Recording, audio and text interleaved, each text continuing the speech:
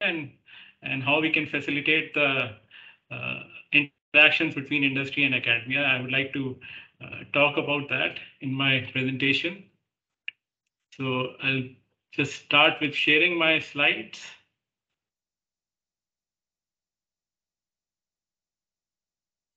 There we go.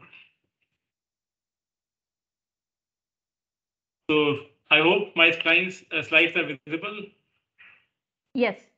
Yes. So so great. Uh, so as uh, Ashisha mentioned, that the, uh, the title of my talk is uh, we want to uh, bridge the gap between industry and academia to accelerate the development of whatever technologies we are working on at in IIT Kanpur and what are the strategies we are doing adopting to tackle this uh, problem to tackle this challenge. Uh, so I'll not go uh, uh, with my introduction since that has already been given. Uh, so I'll just talk about my background, right? Since that is very important uh, to understand where I'm coming from, right? So I've my academic background is I've under I've done undergraduate in material science.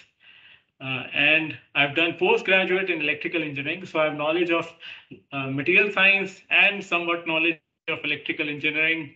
So that helps me out in working on device-related projects or device-related research. And then uh, from academia, after doing my PhD, I went to work in industry for nine years at Intel, and where I was an R&D scientist, research and development scientist to begin with. I have it was not only plain R&D, plain research and development. We were also involved. I was also involved in working on automation. Uh, automation, which was one of the key aspects, since everything, all the wafer processing, every single process that was done at Intel was all automated. There was no human intervention at all. Uh, everything was uh, done using robotics. They were uh, robot arms that were handling the wafers. Uh, to program those robot arms, it was us who were doing most of the programming and scaling up of the process. Right? Since these wafers, these uh, processors that we use in our uh, our desktops or in our laptops, these processors, they are not even, they're not made at the scale of thousands of processors. They're made at the scale of millions, right? So to ramp up from, let's say, tens of processors to millions of processors. That scale up is very uh, critical. We want to make sure the transfer of technology is happening seamlessly from the lab to the manufacturing sites, right? So scale up, I was involved in scale up also. So I've done a lot of, uh, I've seen different aspects of industry while I was at Intel. It was not just research and development. It was these three key, key aspects also, automation, robotics, and scale up. And these three aspects are very important uh, in dealing with industry, dealing with industry projects, uh, because these let you know that what are the kind of problems that industry is dealing with.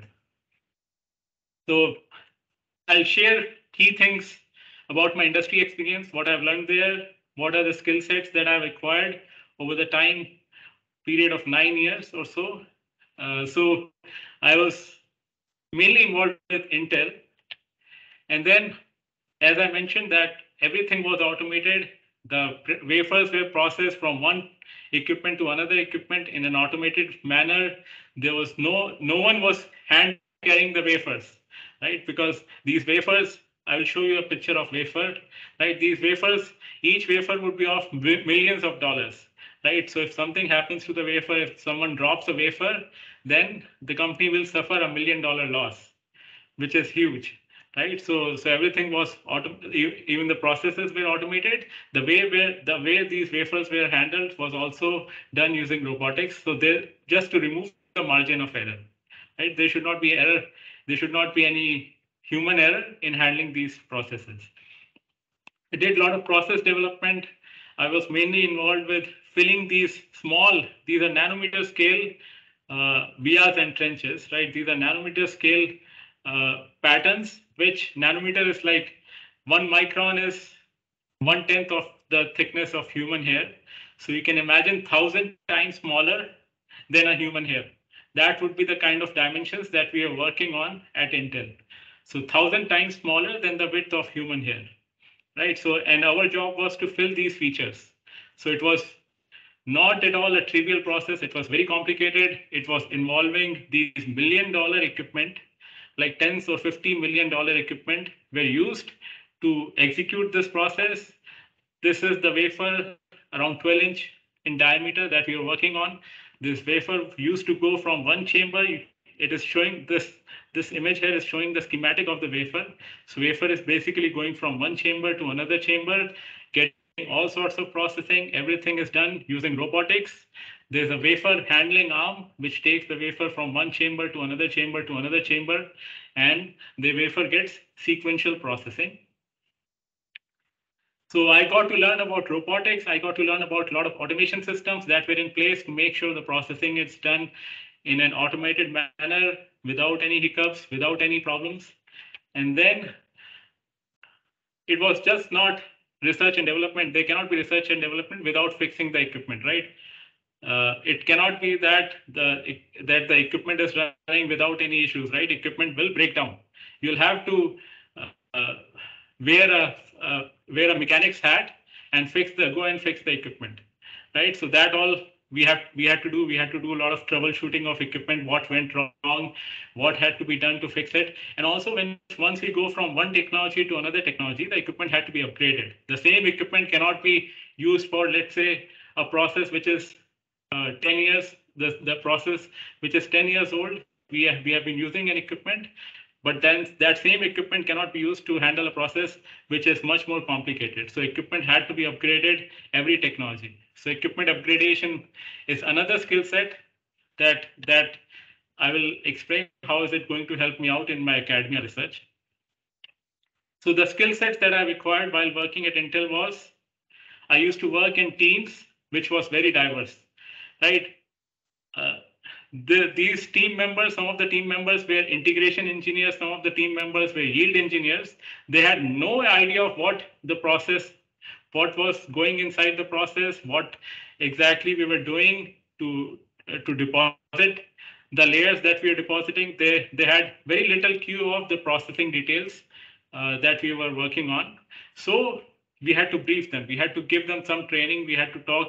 We had to discuss them discuss the details of the process with them give them knowledge so that they can work together with us in in a team in a seamless team and and help us address some of the issues that intel was facing right? So work worked in different kind of teams. Other thing was that as i mentioned that we had to constantly upgrade the equipment because the same equipment could not cannot uh, deliver the kind of processes that we needed for the next technology. So we had to constantly upgrade the hardware and processes. With that, we were working on several vendors. With, with that, we were working on working with several vendors like Applied Materials, Lam Research. So there was a constant communication between Intel team and the team of the vendors. And I was the one we, we were giving them specifications, what kind of tool set we require, what are our process requirements, and based on based on that requirement, they were giving us their suggestion on what kind of equipment will work out best for us. And then it was our job to try those equipment, do those upgrades, and see whether it fixes the problems that we are dealing with, whether it is suitable for the process or not. So again, clear and concise communication, right? You need to be able to give what specification, what are your requirements, and accordingly, so that your vendor understands what the problem is and they can help fix it. So another thing, another skill set that I acquired when I was in industry was uh, we were we were started out with a like a small set of wafers, right? That we were using for the next set of next technology, right? We were doing developing a process uh, for the next technology, we were only doing that for let's say tens of or tens of wafers or hundreds of wafers, right? And then once we make sure that those hundred wafers have given the performance that we need, then we were scaling it up. Then we were scaling up the process to thousands of wafers, then millions of wafers right? So it was a step-by scale-up process, going from tens to hundreds of wafers to thousands of wafers to millions of wafers, right? But the pro the the the biggest mistake we can do here is uh, that the technology transfer has to be copy exactly, right?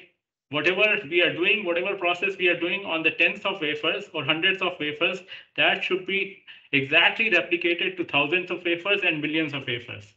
If we miss a small step, if we miss a tiny detail, the entire process, when we take it up to millions of wafers, will not be replicated. Our output will be suffer, our output will suffer, our yields will go down. So copy exactly is something that we followed, right? Copy the tiny, tiniest of the details and then scale up the process. And then uh, since we were de constantly developing technology, uh, and then I was made owner of, let's say, 10 nanometer technology. And then my job was to own the technology from the very beginning to the end.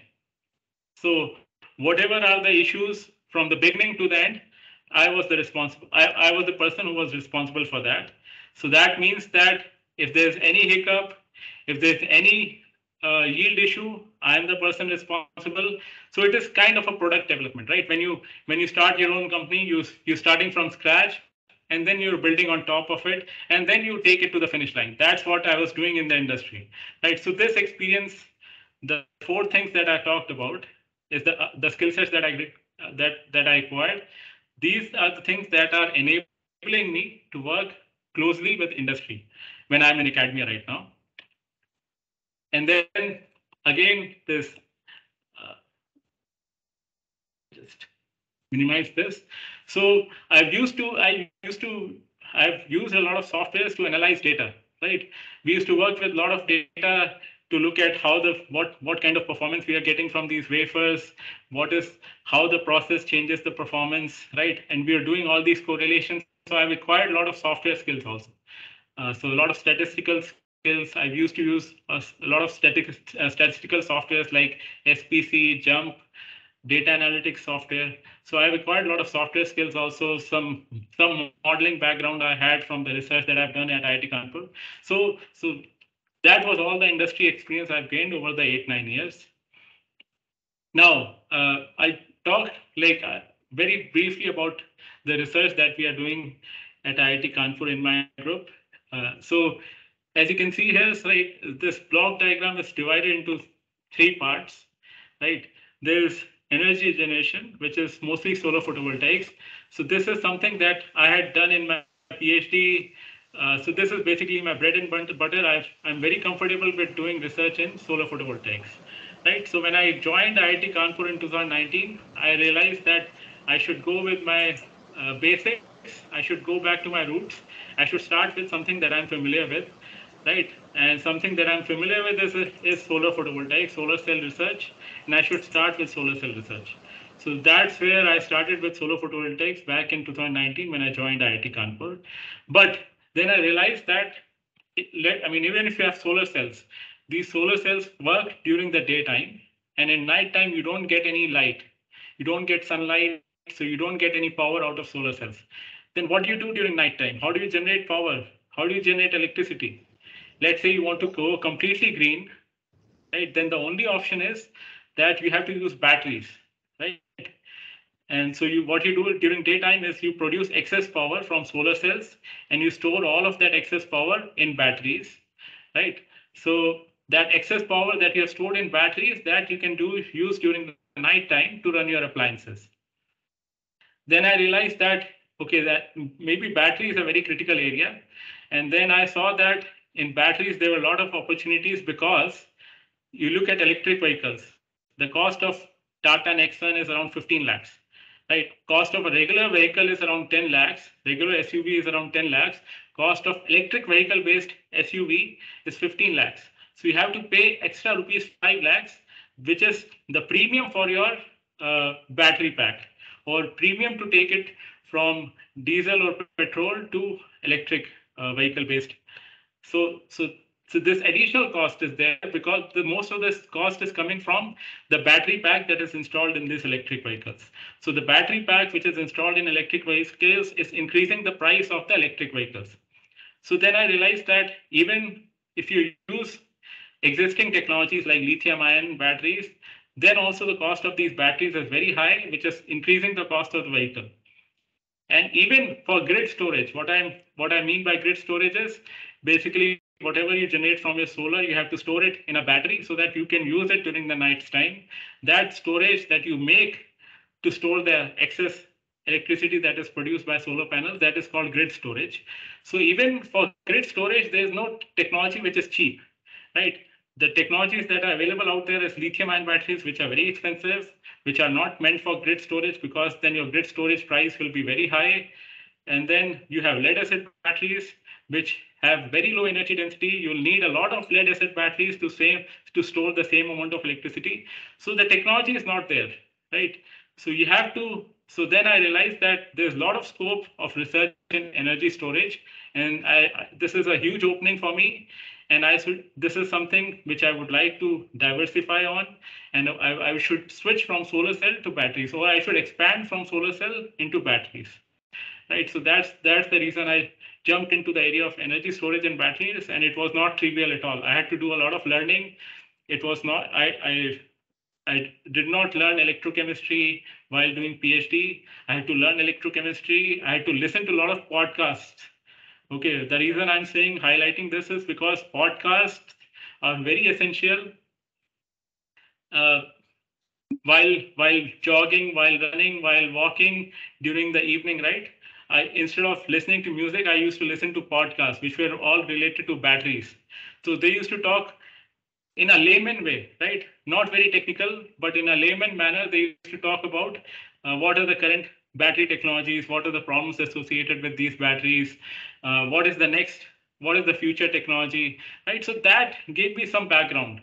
So once I had that background, once I had some technical background, then I can go ahead and read more technical papers. So to in order to build that background, I realized that listening to podcast was the easiest way to enter into a field. And then once I had that initial background, then I could easily go and read papers, dive much deeper into the area. So, so that's the reason why I choose this energy storage and batteries. I thought I should give that. And then this CMOS and interconnect fabrication, this is the area that I was working on at Intel. Uh, I have eight years of research and development experience at Intel in this area. So, and then there are two, and then Indian government is also deciding to start up two uh, uh, fabs in India, uh, which which are going to be uh, on based on which are going to uh, do silicon fabrication right from the right from the wafer fabrication all the way to processor fabrication. So, so that kind of fabs are being set up in India, and Indian government is in, investing around rupees 70,000 crore into this in these projects. So, so that is again an opportunity which I see of, of doing research. Uh, it is not there, but once these fabs are set up, then then we can take up some problems or take up some challenges that are being faced by these industries the fabs that are being set up, and we can tackle those, help tackle those problems. Okay, so these these are the themes that my uh, lab is currently working on. So let's talk about this industry academia gap, right? Which is the uh, main uh, uh theme of this overall talk, right? Why industry and academia are so different, right? And why they have different objectives. So I'll talk about industry, right? And then I'll give you examples of what is going on in academia. So in the, in, in industry, what I've seen is that it's all industry is always operating in survival mode, right? Uh, it is always like uh, you're looking for the next deadline. You're looking to meet the next deadline, looking to meet the next target, next objective. Whereas in academia, there are no hard and fast deadlines right? You are just working to meet the expectations, and these expectations are your own, right? You you have expect you have expectations from yourself, you have expectations from your peers that I should be publishing these many papers, uh, I should be uh, writing these many proposals, and no one is forcing you to do those things, right? As long as you meet the minimum number of papers, as long as you uh, publish minimum number of papers, you should be good. Or as long as you have some funding so that you're able to do some research, that should be good, right? But these are expectations that are uh, set by us only.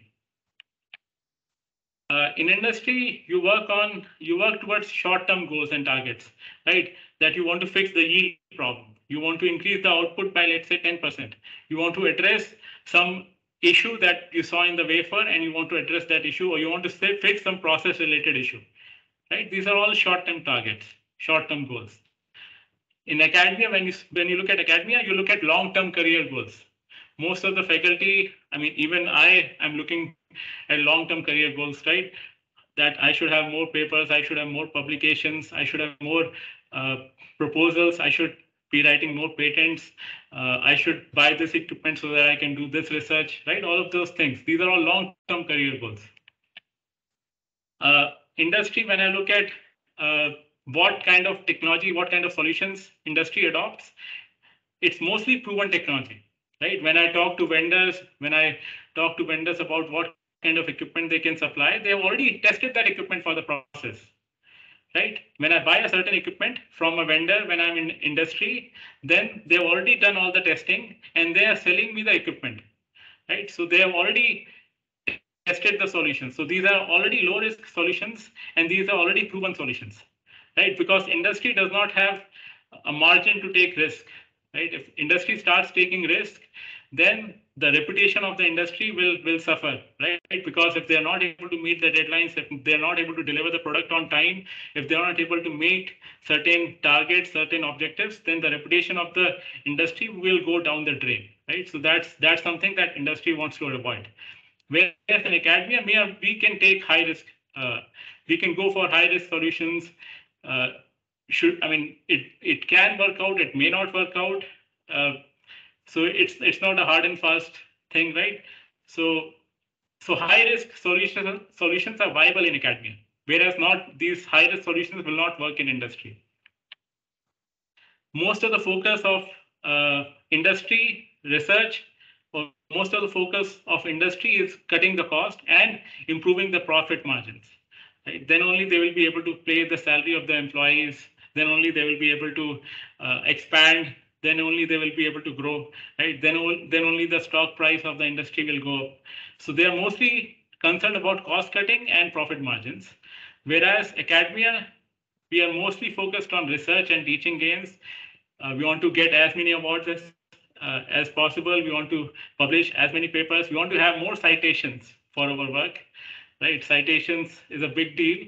And then we want to write, we want to write more grants, we want to have more funding, right? These are all, uh, so these are, this is the focus that we mostly see in academia.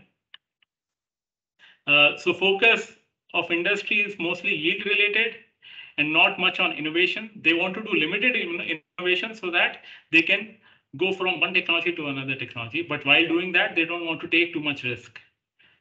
So it's mostly on yield improvement. Whereas academia, they like to focus more on innovation because more you innovate, you'll be able to publish in nature and science. Right? If you have less innovation, you will not be able to publish in nature and science. So high risk, high innovation ideas, that's what we want we like to work on. And that's why that's that's how we can publish in high impact factor journals. So uh, I'll talk about few of the uh, stereotypes that uh, all of the industry people think about us. And I used to also think about like this only. Uh, but then when I entered academia, my outlook changed. But this is the typical academia stereotype that is out there.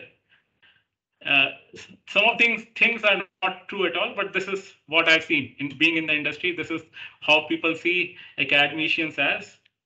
So what uh, people in the industry believe that most of the academicians, they are unorganized, they do not uh, they do not like to they do not stick to the deadlines. They do not meet deadlines. And uh, the research that most of the people most of the academicians do is mostly theoretical in nature and it has very little very little practical application okay so that's the stereotype that is out there. That is these are the myths that are out there. Okay. And the other thing the major uh, biggest stereotype is that the the I mean the academicians they don't understand what the challenges what are the challenges that industry is facing, what are the industry problems, and how to solve those problems. And then another stereotype is that uh, academicians they don't know how to sell their skill set. They don't know how to sell their products. They don't know how to sell their research. They lack marketing skills right? But all of this is changing right? All of this is changing. Uh, these are stereotypes. They were built but uh, now the picture is changing. So at IIT Kanpur we can see this changing. We have SIDBI, we have started into uh, SIG Startup in Incubation and Innovation Center, which is housing uh, a lot of startups, uh, not only from our own students, but it is also incubating companies' ideas which are from outside the uh, campus also outside the university also so so a lot of startups are being incubated at SIDBI. We have Technopark, that is facilitating the interaction between industry and academia. A lot of industries can can find space in Technopark. We have a new building coming up for Technopark. Right? A lot of companies can be can can find some space there. They can actively work with academicians in solving industry-related problems. That is what we need. And then faculty is also interacting with a lot of industry. They're taking a lot more industry projects because these are challenging problems. These are real life problems. And as academicians, we just we don't want to do publish for the sake of publishing only. We want to see some real life application of our research. So, so I've talked about what are the gaps between industry academia, and then I'll just briefly discuss uh, the projects that I am working on that are industry related and what kind of uh, how how I procured those projects, what were the challenges uh, that were associated with those industry related projects. So these are the two projects basically that I have from industry. This is uh, one from Gujarat Fluorochemical and the other one is from Off Grid Energy Labs. Uh, and there there's one more project which I have not shown here, uh, which is from industry. So these two projects mostly involve batteries, testing of batteries, doing failure analysis, why the batteries are failing early, finding the root cause, uh, do detailed characterization, detailed testing of batteries. So, uh, so I would like to give a brief outline of what are the steps that I followed uh, when I uh, had interaction with industry right? How did I secure these projects? What are the steps I executed? What are the steps I took to to to make sure these projects are run smoothly, right? So all of that will be covered here. So what I started out with is what are the kind of problems I'm willing to take, right? I cannot deal with all the problems that are out there, right? I have to narrow down. So these are the problems that I targeted, that this is the area, these are the areas that I feel comfortable working on, and these are the challenges that I would like to take upon. So the three areas that I decided were battery material testing, right? We can do a lot of material testing for, for companies that are making these battery materials. Also, we have companies uh, like Vikram Solar, Avaada Solar, right? All these companies, they are making their own PV modules, PV panels, and they would like to see stability testing or how long these modules can last in the field, how long these solar panels can last in the field. So they, they would like to have some stability testing data of these modules. So this is one of the problems that I would like to work on. So this is one thing that I targeted. And then the other thing is, since my group works on perovskite solar cells, I would like to improve the stability of perovskite solar cells and find any company which is interested in, in fixing this problem, the stability problem, perovskite solar cells. So find a company which is uh, uh, which is also struggling with this issue and would like to see a solution of this problem. So the next thing I did was I prepared the prepared a team, right? And for the I mean team part is not uh, trivial at all. It is very critical to a successful execution of a project. So you have to have a right team with right mindset who can deliver, who can do the testing, who can deliver the output within that certain time limit, so that certain time window. So I'll just uh, exit out and I'll go to the sl next slide, which talks about team building. So I had two big teams that I built, right? One was the battery team, which were working on battery related projects from industry. The other team was working on which was the solar team, which was working on solar photovoltaics related projects, industry projects, right? So these are my students. Some of these are postdoc students. Some of these are these are PhD students who were working on these problems. And so how did I form these teams? So I formed these teams related to the research, right? So if the student is working on battery related research, then he can help me out with the industry project that is going on on the battery related problems, right? So based on the research areas, I, I formed these teams. Then the other thing was uh, these students had to be trained in, in the fabrication of batteries, in the testing of batteries. Same thing for the solar team also. They had to be trained on fabrication and testing of solar panels. So they had to undergo a lot of training to, to get to the stage where they can help me out with the execution of these industry projects. And then we had to have a contingency plan because none of these students are there for forever, right? I don't I don't want to keep a PhD student for let's say 10 years. I want to graduate. I want to make sure they graduate on time. So I had to have a contingency plan. Let's say if a master student has graduated, then he should be transferring his skill set to a new master student. He should be training a new master student. He should be training, transferring his knowledge to another PhD or master student so that the project work can continue. So that contingency plan is always there, right? So that the progress of the industry project does not stop. Then we come to the innovation aspect, right? Because most of these industry projects, like some of these projects will only involve testing of battery. Now, most of the students say, right, what I'm a PhD student. Why am I only doing testing? What am I learning from this? There's no innovation in this project. This is all something we'll gather. We are gathering data and we are sending it to industry. What is what is there in learning? This is not research. So then I had to include some innovation aspect in these projects. Like uh, we we went back, we took a step back, some of these batteries were failing early in life. Then we had to take a step back and see why, what is the reason why these batteries were failing, right? And then there is, there is where the research component came, finding the failure mechanism. And then we did a lot of material testing, which was not the objective of the industry, right? Industry just wanted us to test the batteries. But we, for, for our own innovation, for our own learning part, for our own research, we did the material testing to figure out why the batteries were failing.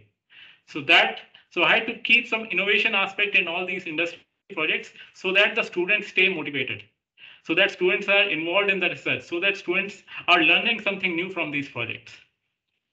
And then uh, the students had to be compensated, right? You cannot take as much work from the students and not compensate them. That is, you don't want to be treating them as labor laborers, right? They are uh, they, these are students right? So they have to be treated appropriately. And if, let's say if they're working for like one or two months uh, on on a certain project and they wa- they want some time off, they want some compensation, then I should be willing to let them go. I should be willing to take time off. I should be willing to uh, give them some break. They can go there, go to their hometowns, and then again, if if a project is funded, there's someone some money for manpower, then I can give some additional funding towards their uh, apart from their PhD or master's scholarship. So that kind of compensation should also be there in the industry project. So prepare the team, right? So reach out to then once I, I had the team prepared, then we re reached out to several industries. And uh, how, how did we do this reaching out? We Technopark sends out emails that this industry is interested in work, working on this problem. So that is one way of reaching out to industries.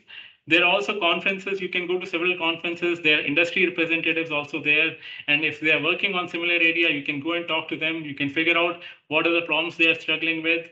And you can propose your solutions. You can propose what all facilities you have so that you can do the same research in your lab in a more detailed manner. And you can figure out solutions for them. Right. And then you can also schedule some industry visits. This is something I like to do. Right. Whenever I'm going to, let's say, Gujarat or Delhi, I plan my visit accordingly so that I visit to one or two industries. And then I'd like to talk to the people there and see what are the problems they are facing day to day. Even it could be a very small problem, it could be a major problem that is plaguing their output. So you can discuss all of those details when you visit an industry. Uh, again, you should be showcasing your strength, right? How do you showcase your strength? What, what strengths do you have as a researcher? Right? You have some proven expertise that you can display uh, from your publications, right? Whatever publications you have in the research area that you're working on, that is kind of your proven expertise. So you should be selling your strengths when you go and talk to your talk to these industries that I have published papers on these, I have proven expertise in this area, I have done these projects in the lab. So this all you should be able to uh, show using your publications. And then also another strength that you have is the facilities. Over the time, you have built some facilities in the lab, uh, some synthesis facilities, material synthesis facilities, material uh, device fabrication facilities, some testing facilities, some characterization facilities. So you should be able to show all these, you should be able to tell all these facilities and how you are positioned appropriately to solve these problems by using all these facilities and by using the knowledge that you have gained over the time by working on research problems.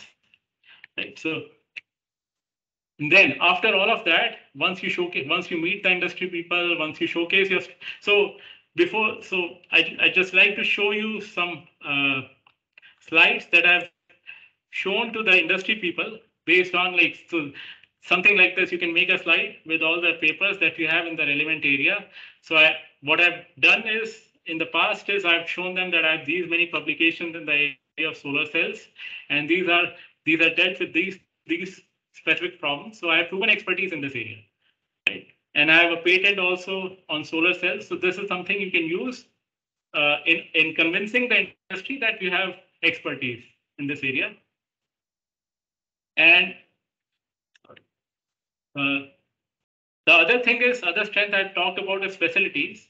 So facilities, again, you can we can we can make a slide like this where you talk about all the solar cell facilities that you have in your research lab, be it material synthesis, device fabrication, device characterization, device testing.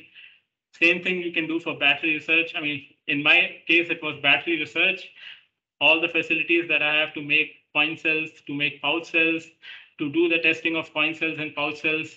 So you can showcase all these facilities to let the industry know that we can do this work. You you can be assured of this that we can we can we can do this research. We can tackle this problem. We can uh, find a solution for your problem. We are not lacking any facility.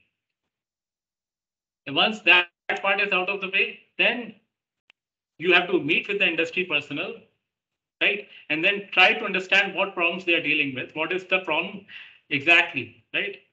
And it should not be like other way. It should not that you you are trying to sell them what you have, right? This problem, this point is very critical. This is a basic marketing skill. You should not be selling what you have, but you should be selling what they want, right? What the industry wants. What is exactly their problem? You should be trying to solve that instead of posing your own problem, posing it, your own solution. You should be trying to solve the problem that industry is facing. What exactly industry is looking for? That is the key thing. And you should be trying to solve the problem within that expected timeline. So timeline is very critical. Industry is very uh, tight about the timeline. Uh, so timelines are very crucial, very critical when we talk about industry deliverables, industry projects. Uh, you cannot delay your projects. You cannot delay the deliverables of the project when you're dealing with industry. Like most of the government projects, you can extend them by a few months, you can extend them by six months, but not for industry projects, right? They give you some funding to tackle a problem because they have a product coming out. And if you do not uh, solve the problem within that certain, within that uh, given timeline, then their product delivery, their product coming out to the market will be delayed. And then the industry is going to suffer losses. Industry is not willing to take such risk. And that's why, so that it is better to have that understanding initially when you talk to the industry about timelines. And then once you understand what are the industry problems, what are the timelines, what is the budget requirement, then you can draft a proposal. You can request for a realistic budget and you can discuss all these details with the industry to finalize the proposal. Right. So this proposal writing part is very critical. All the relevant details should be in the proposal. And then you can start project execution. Right. Once you once you are at this stage, you are working on the project and you are giving regular updates to the industry, right? If you have a certain delay, you should let the industry know. If your equipment malfunction and you're trying to fix that equipment, and because of that, you're not able to make progress, you should be very honest with the industry, right? You should give them heads up. This this should not be you should not be saying that towards towards saying this towards the end of the project. See, I, I had my equipment malfunctioning in the beginning of the project. That's why the project got delayed by three or four months. You should be giving regular updates to the industry. That is very important. You should be honest to the industry. You should not be lying to the industry. You should not be uh, right. So it should be very it should be a very transparent process. Uh, so I'll give some tips. I mean, uh, these are not tips or these are just something that I would like to follow when I'm writing a proposal for industry. Uh, so timelines. So all the milestones, all the deliverables. By deliverables, I mean what kind of product you're going to deliver, what are the objectives you're trying to meet, what are the things that are you're trying to address, what are the solutions you're trying to come up with. All those milestones, all those deliverables have to be timed. They have to be having, they need to have a timeline. Right. So all the deliverables have to have a timeline.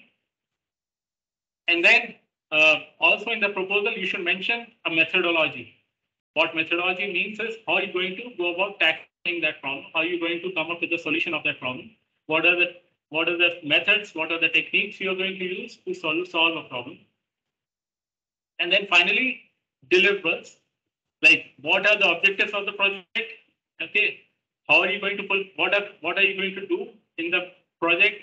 What exactly are the objectives? And these are all quantitative objectives. Right? In this case, you can see when I talked about uh, testing a battery or, or, or, or coming, coming up with new kind of battery, right? I gave these quantitative deliverables, right? That the capacity of the battery should be more than this. The life, the cyclability of the battery should be thousand cycles. The size of the capacity of the battery should be greater than one ampere. That means these are all quantized. Okay, these are not, I'm not throwing I'm not throwing arbitrary numbers. I'm not throwing any qualitative deliverables. These are all quantized. These are all quantitative deliverables, right? So, so industry would like to have some numbers. Industry would like to see some numbers that once you execute the project, what kind of deliverables you are going to give, what kind of quantitative outputs you're going to give, right? What will be the capacity? What will be the lifetime of the product? How are you going to improve the lifetime? So all those details should be there in the deliverables. And uh, so just budget should be realistic. Okay.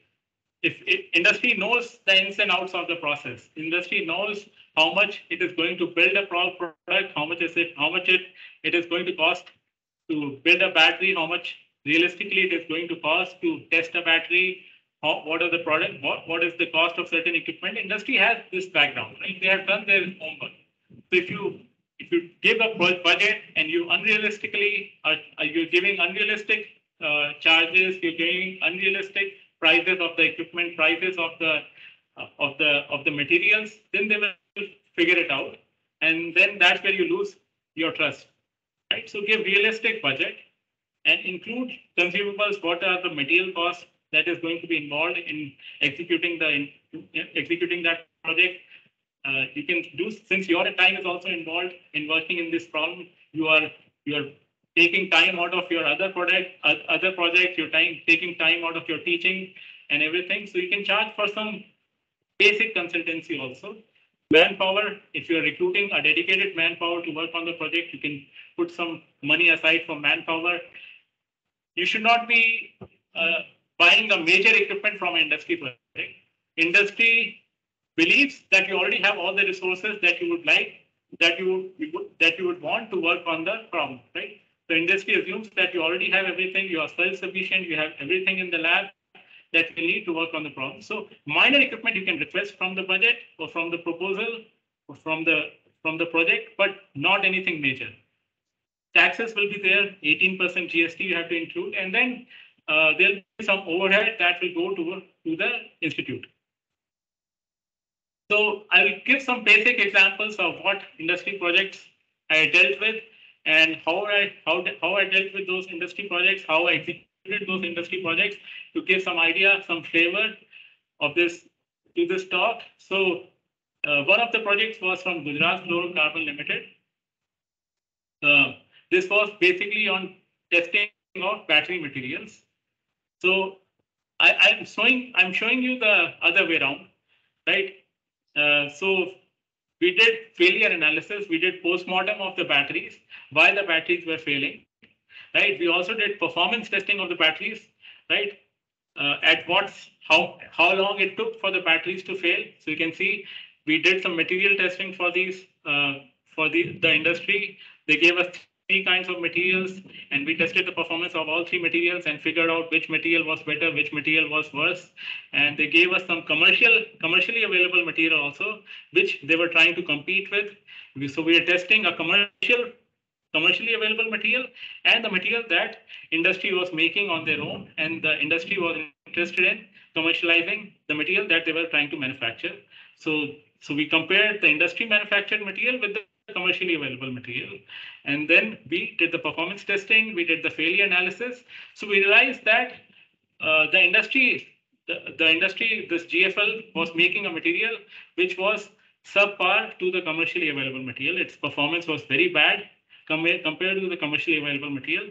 And then we did, so we, then we uh, did some uh, uh, root cause analysis that why is the material worse? What is going on? Why is the battery having early failure when we are using the GFL material, not the commercially available material? So we did some materials characterization and we correlated it with the material properties that the material had low viscosity because of some inherent crystallinity of the material.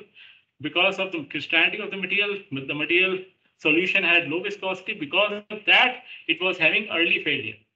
So all of that material characterization, this was not expected from us. Industry did not expect this from us that we'll come up with the root cause. But again, to make the project interesting for the students, right, to have some research component in the project to, to, to figure out the root cause, we did this on our own.